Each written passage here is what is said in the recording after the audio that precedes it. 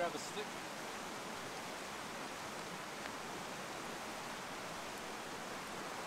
Not too big.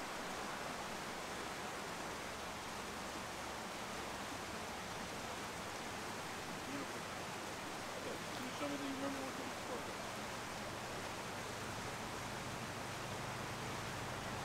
You can go that way or the other way. That- That's fine. Um, perfect.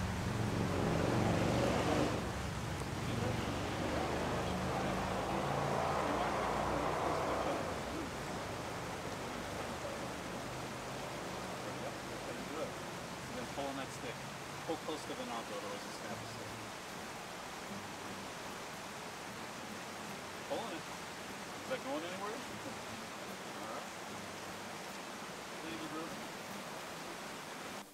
Welcome back to Equip 2 Endure. I am Rusty. If this is your first time visiting, welcome.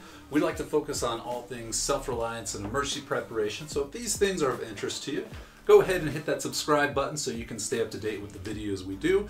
We try not to get too specific in one element of survival, we kind of look at the whole picture. And that's what we go after. So today we've got a couple things that we're doing. One, obviously we're going to talk about a bushcraft bag, but we've also got some continuing announcements about our E2E Christmas giveaway. So that's exciting. Let's get right into it.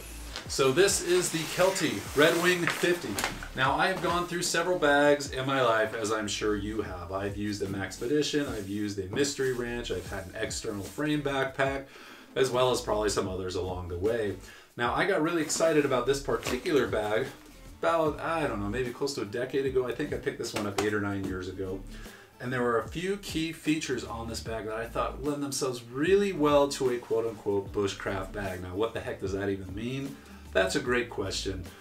You know, as as people who say they're into bushcraft or whatever, I mean, you can go really far in different directions with that. You get the straight like Aboriginal guys who go out in their underwear, or you've got the guys that go out almost kind of cosplay historical period actors who want, you know, trapping style uh, elements from the 1700s, whatever. I'm not criticizing either one of those. It's just if you maybe want a little bit more of a, uh, a modern, maybe slightly more practical kind of approach to it, I think this is a really great bag for it. And I'm going to walk you through some features and show you why. So, right off the bat, let's start on the outside. Great handholds. Everything on this is built really durably. Out here, up top, you can hang it very easily. Now the admin compartment on the outside is exactly what you expect. It's nice and big and roomy. I've actually used it for things like, I mean, I do have a little touch of admin. I've got the notepad in there with the pen, but I also throw in the contractor bag. I have emergency bags in here as well. And I think I've even got, yeah, I've got a mini fishing kit as well as a yo-yo trap in here, I believe, two of them. So this is what I throw out here in my admin pouch. Now remember, and I'm sure if you have any experience with this, you also know that you can kind of move things around and sometimes you may like one kit versus another. This is just currently what happened to be kind of sitting in here and what I've tossed in for the video. I am a big fan of this top pouch, the top one here. It is nice and deep and roomy. I don't know if the camera will really pick it up, but it is a nice hole there that you can put stuff in that's separated from the main compartment. Now I like to put things up up in here that I get to regularly. So that's gonna be bandana. I've got work gloves in here. I've got a headlamp up here. My fire kit I put up here. There's a fire kit as well as compass. So anything that you need to get to quickly, great spot for it. So again, there's five main compartments on this bag. We've gone through two of them. Now here's what I really dug about the Redwing 50. I think it's a great idea. I mean, maybe a little bit novel, but it works and I've loved it. So on both sides, there are long zippered pouches that have a pass-through behind them. So this is a, I'm not sure how you pronounce it, it's a Gawa Canyon Boreal 21 folding saw. The pack saw I really like, it's just barely over a pound. It's a great saw for that. Behind this pocket, you can go, you've got a complete pass through right there behind this pouch. And this is a good sized pouch. Now here I currently have this loaded out with some extra bladed tools. So if I don't happen to bring a full pack saw, I can stick my um, Laplander in there. This is a Able IS NBS tool, really neat knife. I've got an extra just a backup blade here in case I'm out with one of my kids, and a Mora knife that they can use. And I think I've got a carving jack in here too by FlexCut. Yep, there it is.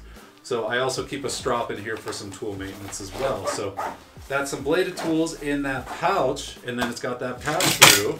And at the bottom of the pass-through are these side pouch pockets.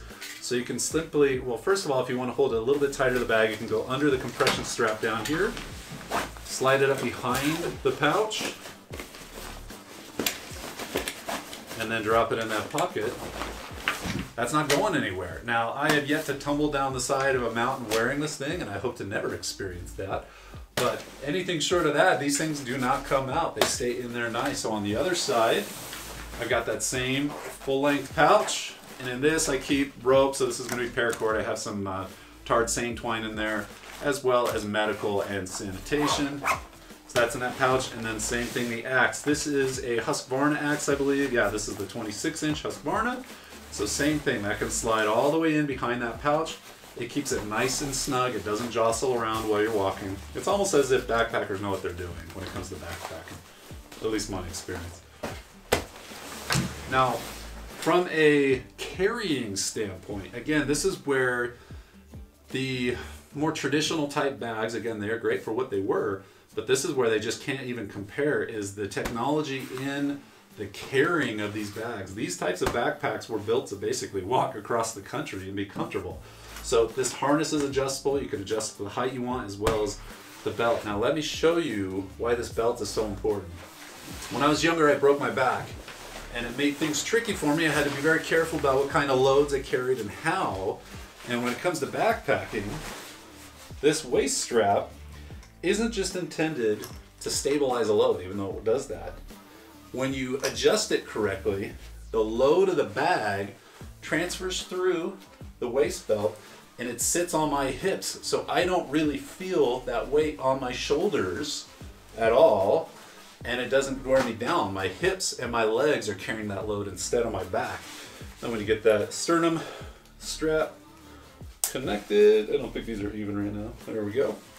Now it's a nice tight load that I can walk much further, much more comfortably because of that adjustable harness and how it fits.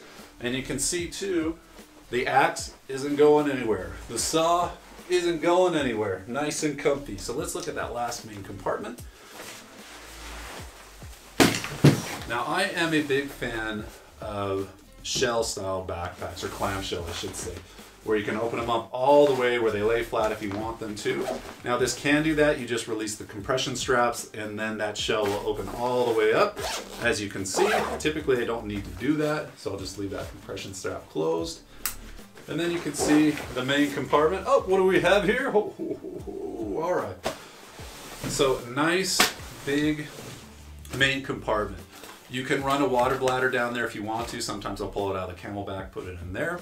I got my tent, I load that vertically. Some people argue about how to basically load out your kit, whether you put the things that you need first on top or whatever. If you do that, maybe your load can get a little bit wonky. What I like to do, I just run my tent vertically as well as my sleeping bag and other things in there. And, and I try to find the balance of proper weight distribution as well as what I need out first. And it works for me. Everybody kind of has their, well, not everybody, lots of people have their own opinions on what's best there. But great compartment. And you saw that I have my Santa hat out. So it's time to get into character. Oh, oh, oh, oh, oh baby. All right. Here's what's so exciting. It is E2E Christmas time, everyone, and we've got you your very own Kelty Redwing 50 for the winter. So, this is one of the newer models. This is probably two or three generations newer than my old one. Brand new, still has the tags on it and everything. This is the base for the Wilderness kit that we're giving away with the E2E Christmas giveaway. And we're also including a VanQuest 5x7 fat pack. This is great for medical if you want to use it for that. And then, as by way of reminder for the EDC kit, we have this fantastic VanQuest ADDAX 25. Now, we already did a video on this. I think I'll put a link right there for you to go check it out. But this is for the EDC kit paired with the 4x6 VanQuest Fat Pack. so, here's the base. Now, I wasn't planning on doing this, but I'll give you a little bit of teaser in this video. Here's just a couple things. Vargo has thrown in for these kids. These are not cheap items. So we've got an EDC bottle. We've got the Wilderness Kit. We've got an amazing Giant Mouse Knives Riv Titanium Blackout for the EDC giveaway. And Andy Roy's an old friend of mine and he wanted to get on the, the Christmas spirit too. So he made a very special bear paw to go in the wilderness kit. Now these are only some of the things. You can already see there's hundreds of dollars of stuff we're giving away right here.